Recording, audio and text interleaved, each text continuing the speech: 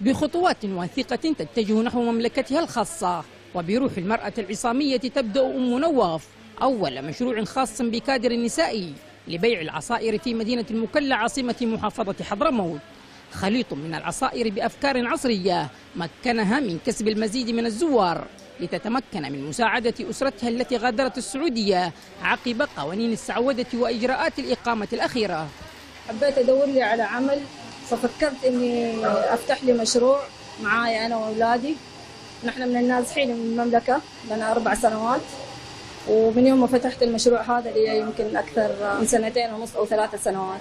والحمد لله المجتمع متقبل ان المرأة هي اللي تشتغل تصرف على بيتها توقف مع زوجها تصرف مع عيالها توقف معاهم.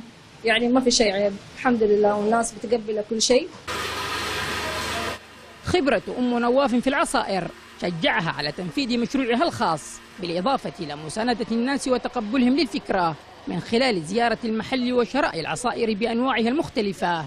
والإشادة هنا بكونه خطوة تعزز من إسهام المرأة في الحياة الأسرية والاقتصادية والمجتمعية بالمشاريع المشابهة.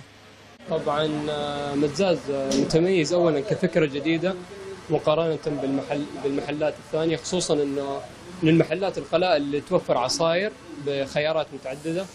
يعني فالواحد مثلا سواء بعد الدوام إذا حاب يغير جو ولا شيء العصرية تلاقيه فاتح مثل دي الأوقات فنجيب عصير طازج من المكان ذا. الحمد لله يعني ما شاء الله يعني الذوق عندهم كويس. تكمن أهمية المشاريع الصغيرة والمتوسطة التي تؤسسها النساء في أنها تنشط سوق العمل وتخلق التنوع كما أنها تبرز طاقات المرأة في المجالات التي كان يعتقد قديما بأنها حكر على الرجل. معتز النقيب يمن شباب المكلا.